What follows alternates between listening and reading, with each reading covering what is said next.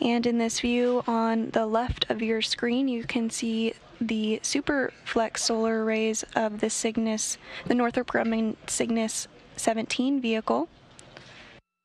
And on the upper right, you can see progress as it continues to get closer to the International Space Station. 400 meter mark. Docking just about 20 minutes from now.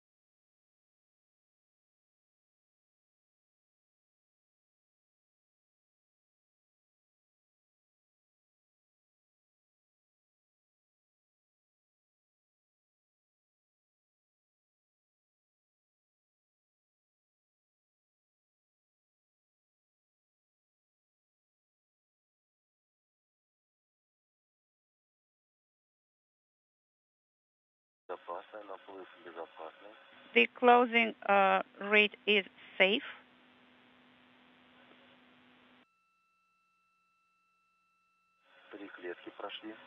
So three squares on the grid. Copy.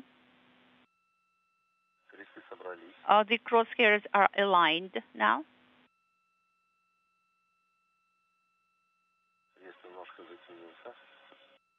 Unintelligible. Copy.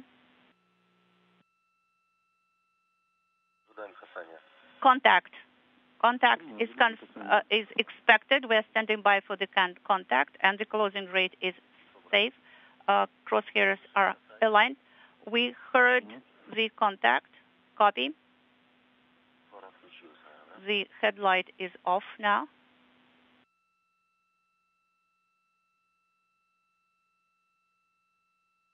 And we do have contact confirmed as well as capture confirmed, all done by the Kurs automated system. That docking was confirmed at 8:02 a.m. Central Time, east of Manila.